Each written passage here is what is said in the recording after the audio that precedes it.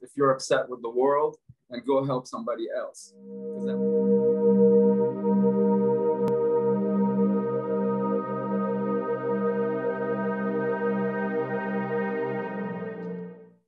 All right. Hey there. This is Dr. Robert Ciprian with Heal Profoundly Conversations of Transformation. And um, here with Vita, and she's got a beautiful background going on here. And um, wow, I wish I was out there. It looks great out there right now. Vita, how are you doing? And um, yeah, one of our friends, someone that I met, uh, was it two years ago or something like that? No, it was last year. Last year? That, last um, year. Yeah, that we bumped into. And uh, yeah, he brought him on today to kind of chat with us. So, Rudy, who do you um Vita, introduce Rudy to us. So actually, Rudy is an amazing man who I really, really admire, and the person who has the purest and the biggest heart. And uh, I don't know, it's just like a, like a legacy man, you know. Yeah. and so yesterday, accidentally, I met him in the lobby of the hotel in Miami, and it was just it was just very serendipitous, serendipitous meeting. and um, he agreed to give us an interview because he has really, really interesting life. Um, so I'm very happy. So thank you for doing us for doing it. Um, and what's interesting is, so we started to prepare for interview, and he brought this book, Prayers, and I just open it. So I just want to read one thing. oh, it yeah. says, yeah. So I opened it on truth, and it says, every human is an artist, and our greatest art is life. Humans perceive life and try to make sense of life by expressing what we perceive with words, music, and other expressions of art. We perceive life and then create a story to justify, describe, and explain our perception and emotional reaction. All humans are storytellers, and that's what makes us artists. And as I know Rudy, he is a truly artist and he always creates and trying to build something. Like he, he comes to Miami, he's like, I already like want to build this. I want to build this. he is a person I always hear build, build, create, build, like help. So he is that kind of person. Oh, that's uh, so great. Yeah, artists are the creators. So, Rudy, what are you doing in Miami? What's going on? So, I'm here to have some fun and enjoy the sunshine. I uh, live in Washington, D.C., and uh, it was quite cold and gloomy up there. So I thought, hey, it's time for a little change. So here I am.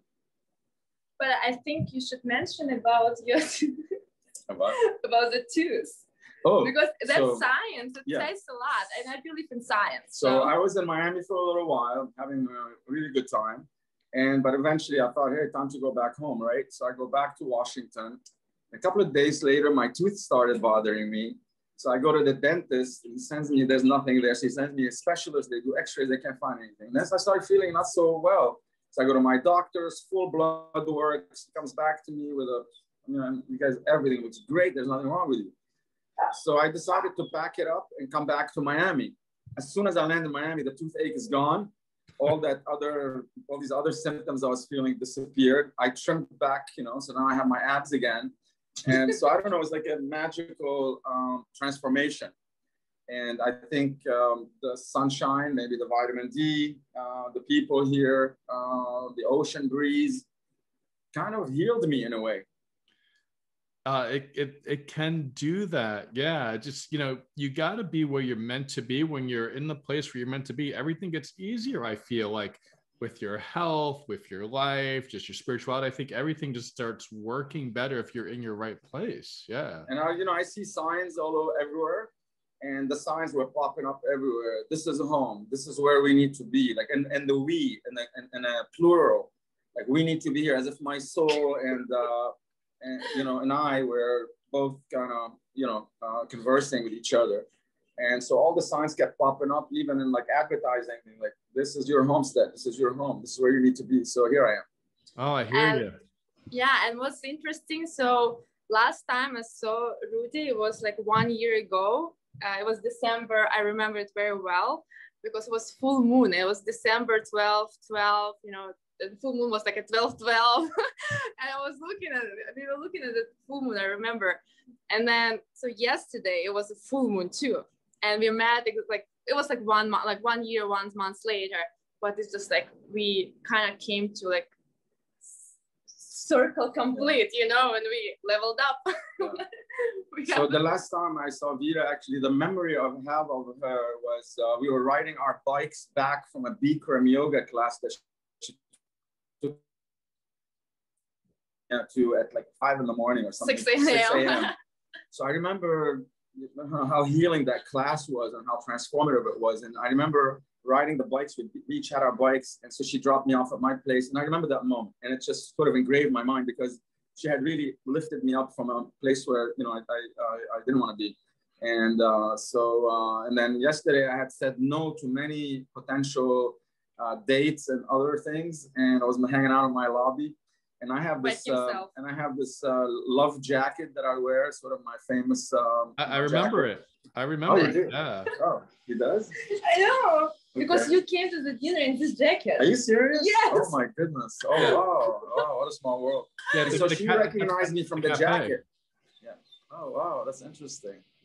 Yeah. Okay. So I recognized you because of this jacket. You know, yeah. I was just like. Rudy. What?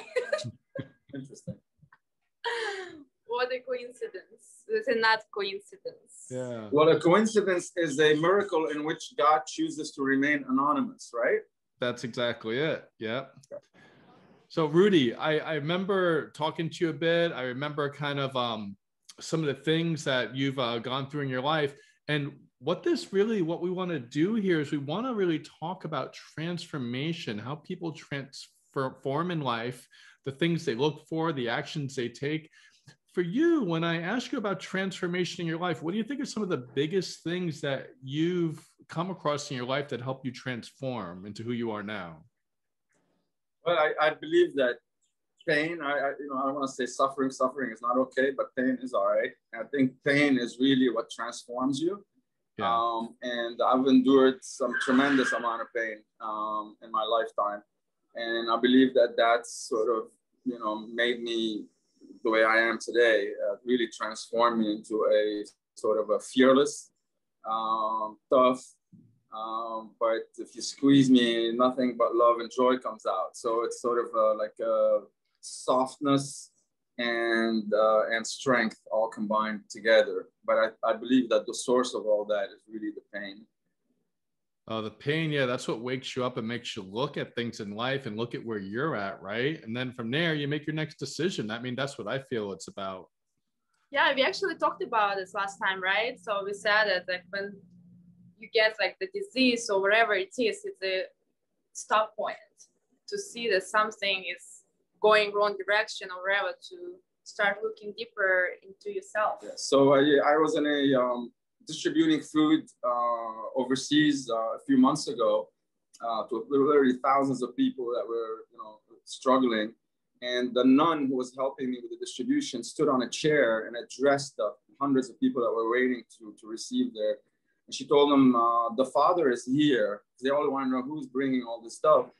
And then she said to them, to the people, uh, and this father uh, chose to express his grief with by giving, and that's why he is here today. Had he not done that, he, his life would have ended at the moment that he lost his child.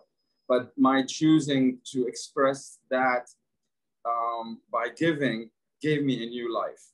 And that was the first time I heard that from you know from her, and now I realize that this is really what's helping me move forward. Um, is this um, and this is something I learned from my son's video that he left behind is if you're upset with the world and go help somebody else, because that will take you out of your own self-delusion, take you to a place of peace and love. So go help someone else. And that's really what's been giving me um, a purpose right now. Otherwise, it'll be very difficult to navigate life with all this, um, all these things that happen. Wow. Yeah. I, I really don't believe that you know any of us can be in our right place unless we're coming from service somehow for somebody whether it's just for your children or for society or even just for a pet. I really feel that to be happy and truly in a good place in life you have to be in service in some way. And it's so important really. And sometimes people just about focus on receiving and where they at and you know they're a victim. But if you could turn around and put that energy towards service um it, it just i really feel it opens you up for your possibilities in life. Exactly. Exactly.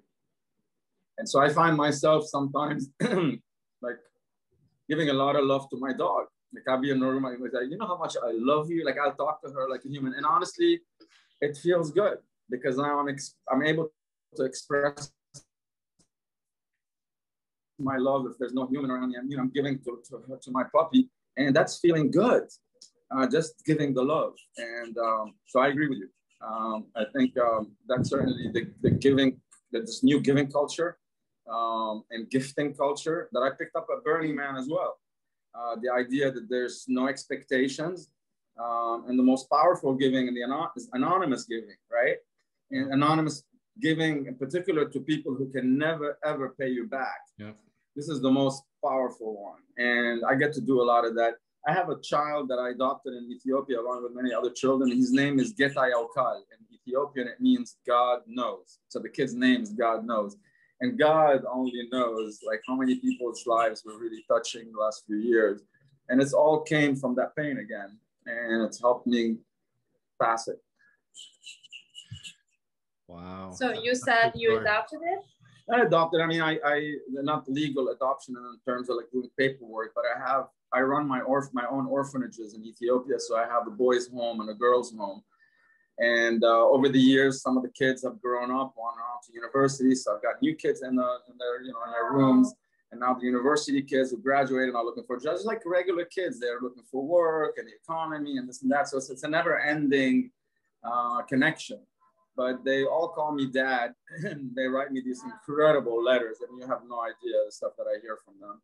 And that sometimes when I'm down or I'm feeling a little sad and I receive a message from them, it just, you know, it makes it, it makes all the difference and really changes, again, transforms my mood immediately. Uh, knowing that someone out there needs me. Yeah. Or uh, it's, that's really, uh, I think, very important for humans that we feel needed uh, more so than needing anything. Yeah. Were you always like this way, like giving, you know, loving, or you had like some uh, a point in your life where you like, you know, changed yeah. and transformed? I mean, I, I always had a, I would say I had a gifting nature. Um, and that's how my businesses actually um, you know went through the roof. It was through via philanthropy. I, I started by giving first, mm. and then the universe conspired to reward me for that in a, in magnificent way. And so I, I, I truly believe that uh, gifting and giving is key to success. And the universe likes a good conduit. So if you're the type who hoards or is cheap or doesn't share, the universe stops sending you goodies because you're not a good conduit. But if you really um, distribute properly and take care of those in need, then the universe sends you more. Uh, and the more they send you, the more giving you do. And the more giving you, the more they send you. And then so you end up riding this sort of virtuous cycle. And now I'm, I'm on that I'm on that wave. I'm on that virtuous wave, and it just it's not ending. You know, it just keeps rising and rising. Um, but I'd say I took it to a completely other level when my son got sick. Um, my faith got much deeper. Um, I took some folks lose their faith when they go through difficult circumstances. For me, it was the exact opposite. Um, it took me to another, I mean, to, to a place of deep faith that um, everything has a reason, even that pain had its own purpose. Um, I think finding the silver lining um, is key to resiliency. Uh, if you don't if you can't find the purpose in everything, the bad and the good, it's very hard to move forward. Uh, but when you do find the silver lining, even in a very, very difficult situation, then you're a survivor. There's just no, there's no, you're unbeatable um, because you never give up. And you can't beat a person who never gives up. You just can't do it. Right? Oh, yeah. Words, it, words of wisdom. It, it is. It is. It's, it's very inspiring to me too, just to hear you. yeah. Yeah. I'm like, wow, I got to really focus a bit more in my life, even though I feel like I've done a lot, but I just hear you and I feel your energy where you're at. And I'm like, I want to climb up there. That's great. That's a lot of people, you know, come up to me. Uh, a lot of times I've been, I was sharing with Vita yesterday how my, my vibration is uh, the, the kinds of people I'm attracting. I mean, just people just come up to me, and just want to sit next to me, like, hey, just your energy, you know, and I'm getting a lot of that. And um, I tell it, and then some people will tell me, hey, how do we get to this level? And I say, no, no, no, no, you don't want to get, you exactly where you need to be now. You know, I went through to get to where I am. It's just that um, sometimes though I tell God, you know, just to stop trusting me so much that you can, you know, I, I, I have extreme faith and I, and I hope that you give me a little break, uh, just have a nice ride next few years without any, you know, any more lessons. Take a break, vacation. Give me a break. Vacation. Please don't trust me so much anymore. No, I'm only kidding. Um, and also, you're wearing a hat with the Rudy Project. So tell tell us more. So yeah, so the, the Rudy project is about living life to the fullest. And um, I planned in the next few years to roam the globe um, and uh, you know finding some of the coolest spots and sharing that joy with others. And while in those communities, uh, do a major philanthropic endeavor. So any any area that I would go to, we do a little tourism, good food and whatnot. But while we're there, we drop a library or we build them a school or we open an orphanage or we just kind of uplift the community. Um, and the idea is not to do individual. I, I rarely do. I, I, do once in a while help on an individual level, but now I'm, I'm navigating the community level. And the idea is to uplift a village or, or a group of people together. And so the idea is to do that at these different locations and make it fun so people would want to watch We eat some good food yeah. and party because yeah so that's the idea of the Rudy project. Hopefully will the, the first episode will uh, you know be uh, ready in a few weeks.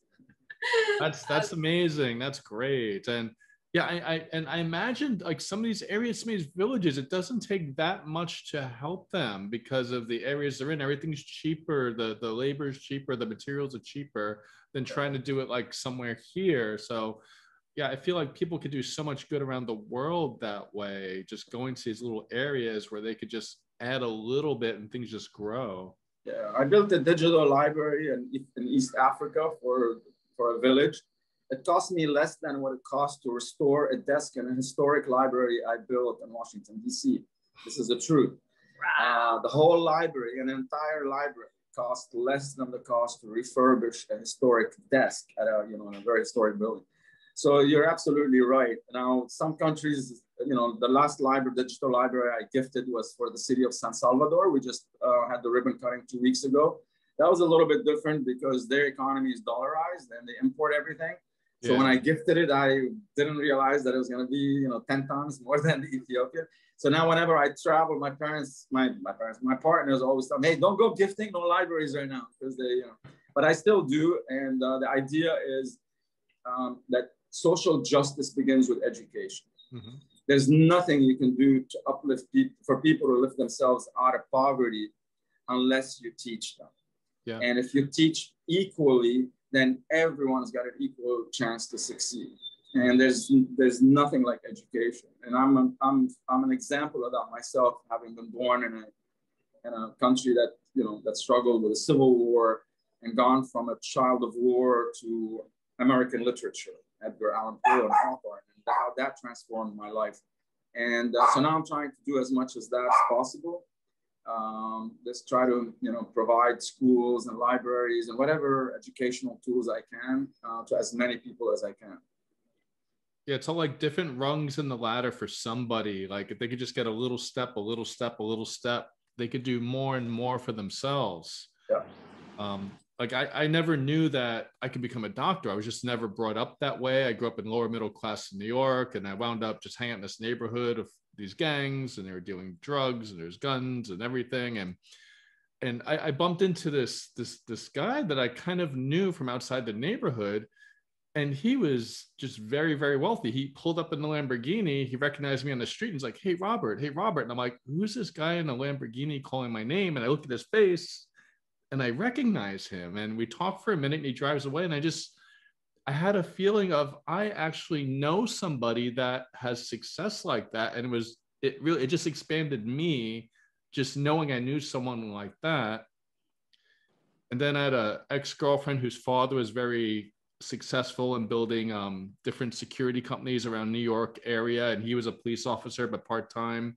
He started his own um, security um, company on the side, which became this huge company, and he became very, very wealthy. And that also just expanded me a little bit. I asked him, you know, about how he did that, and he's like, positive thinking. This guy think positive. You could do anything, and so I had these little kind of mentors here and there, even if they're only in my life for just a little bit, they just kind of showed me I could take a step up, take a step up. And I found a way out. A friend of mine who is a bartender, he's like, Oh, I'm going to go become a chiropractor and I'm going to become this type of doctor. And I'm like, wait, if he could do it, I could do it.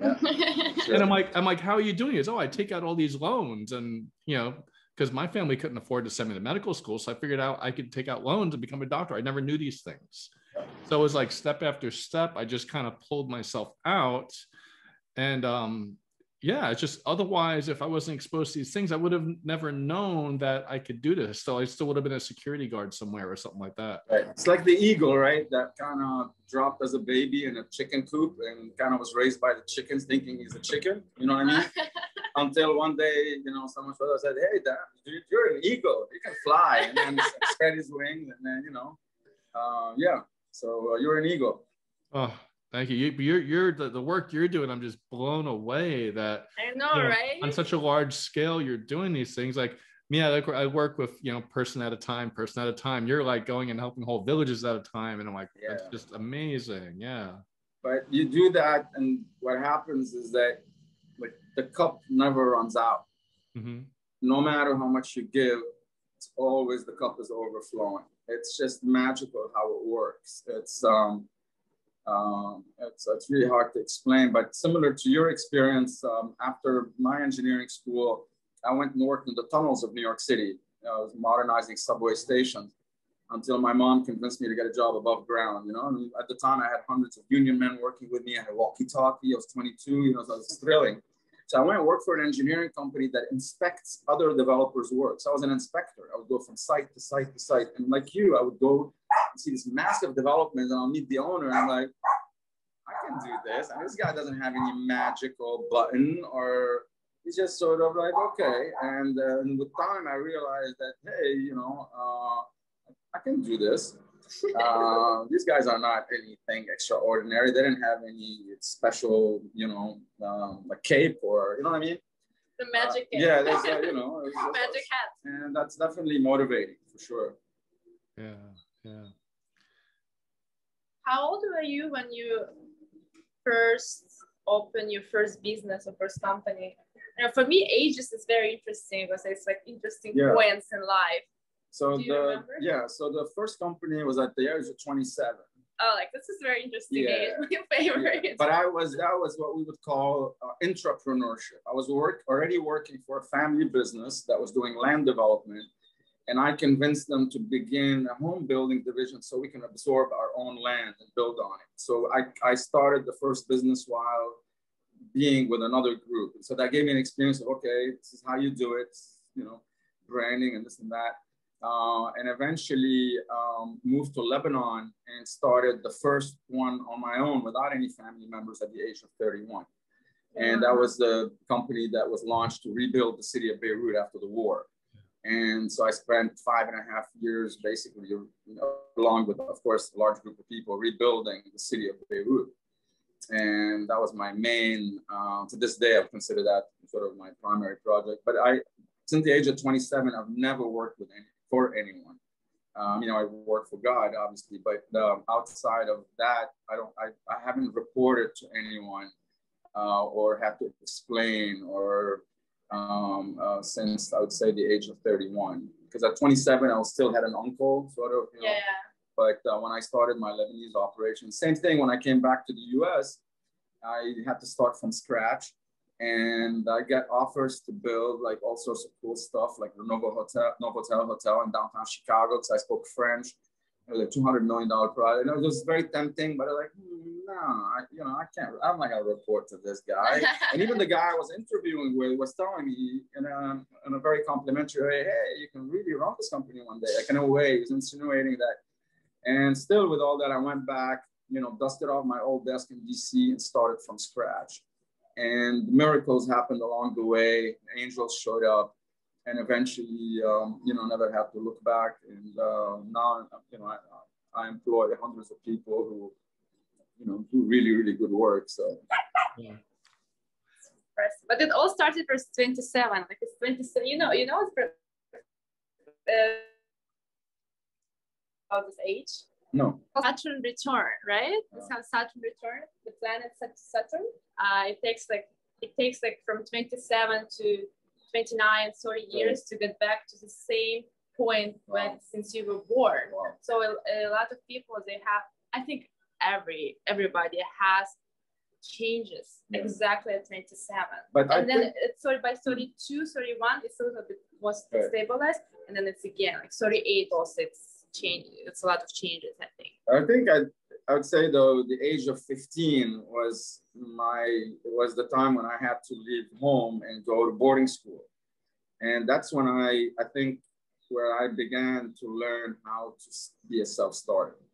Because I didn't speak any English, I ended up landed in a boarding school in Massachusetts, um, and a, foreigner, you know, from the an Arab, you know, uh, and uh, somehow or another, had to get up on my feet, make friends, fit in, learn the language, and thrive.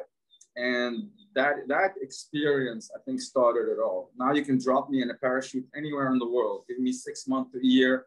I'll have a, a few hundred engineers building something great. and it, it came from that, from just being sort of dropped at the age of 15 and just had to do it. I had to get up and do it. And so that resilience, I think, comes from that. Yeah, that's why I really feel that um, people that go off on their own when they're younger, whether it's school or work, or they just kind of get out of the house and they do something on their own. I always feel like those people, they, they, they they're they're more mature in a way that they really have life hand. There's they get life handled a lot easier. Yeah, and I think also the the obstacles that happen along the way, right? I don't know if you've read the poem about the great timber, but they, it talks about you know, a tree that sits out there, gets what's water, no wind, no storms, and that being just a regular tree. But the really powerful trees are the ones that withstand wind and rain and power and have to dig deeper with their roots in order to access water. Those are the, the great, this is the great timber.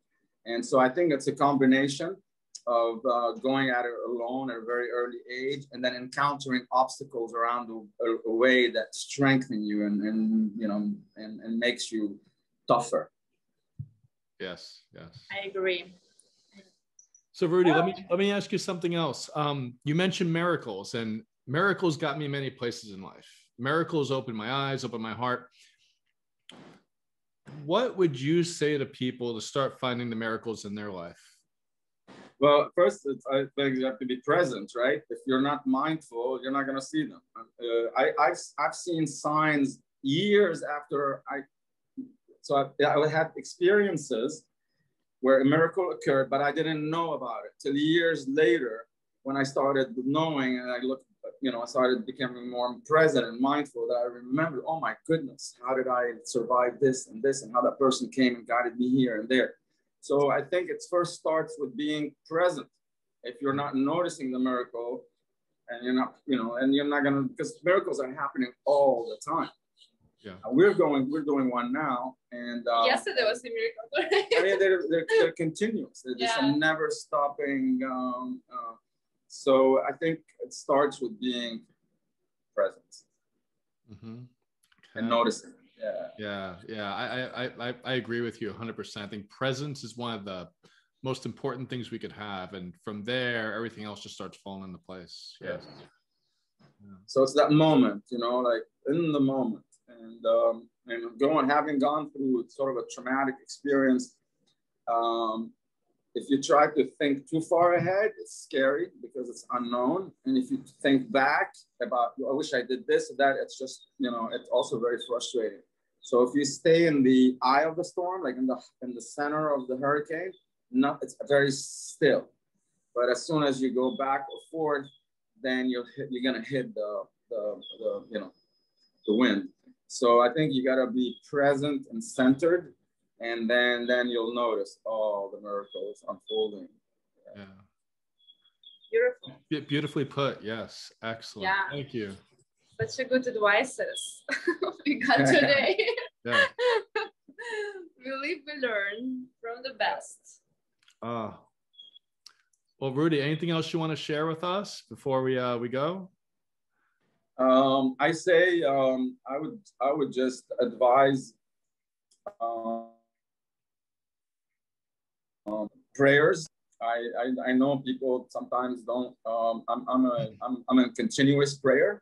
And I think that's how I call in the angels and the miracles. Um, so I think we all need to have a mantra that we sort of pray to ourselves. I have my own that I've been, you know, going to all my life. And even when I'm quiet and you're talking or Vita's talking, I'm in prayer. I never cease praying. And uh, so what I, you know, I would you know, leave you with that thought is that I think we all need to be praying all the time, and then uh, and then watch what happens. Um, that's what I would leave you with. Pray. That's that's great. That's great. Vita, anything else you wanna you wanna add? I'm just happy that through this year we had such an amazing interview, conversation. I'm just happy. So thank yeah, you this, so much for doing it. Thank you guys for asking. That's kind of fun. You know? So Rudy, is, is there a website for what you do, like the Rudy yeah. Project right there? What is so, it? Yeah, so um, um, there's a couple of them. So the MCN Build Foundation uh, has a you know has a has a lot of content in it, uh, and that is my corporate philanthropic arm. And via this vehicle, I build these free libraries around the world and schools, and support a multitude of nonprofit organizations in the Washington region, uh, schools and churches, and you know all sorts of stuff. So that would have. Uh, and we also uh, via this vehicle I run a returning citizen program where I bring in ex-prisoners who just got into a little trouble when they were younger, and we re-indoctrinate them into the workforce, get them to learn how to dress and interview, and then try to find placement for them. We also have a lot of STEM programs where we bring children into our job sites so we can get them excited about math and science. So we have a lot of that. That, that all have you find all of that in the MCN Build Foundation MCN? website. MCN, Mary, Charlie, Nancy. Yeah. Ah. Okay. And um, the the other foundation is called the Loops Foundation, and that's the one for my to honor my son and in his memory. And that one, uh, its initial purpose was to do art and music in public schools and bring art and music to those who can't afford to have the like the studio he had, you know, he had everything. Um, and uh, but we had to switch it up and go to food and medicine because just people were struggling in Lebanon. And so we have to divert the resources. So now we're feeding and providing medicine to, to a lot of folks. But still, its main purpose is art and music. And you can find that on his, web, on his website page called the Loops Foundation on the Facebook. Uh, it's on it's the Facebook page. Okay, great, great. Rudy, thank you so much for your time. Thank you so hey, much thank for you your for energy. Thinking, uh, I have something to say here today. yeah, I, ho- I, hope to see you. I hope to see you in uh, real life again soon. And yeah, enjoy. Fall. Or maybe you can come here, join us here. This is a real life here. yeah, yeah, I'll, I'll, be down there again soon. Definitely. Yes, yes. All right. Thank Thanks, you very Robert. much. Thanks.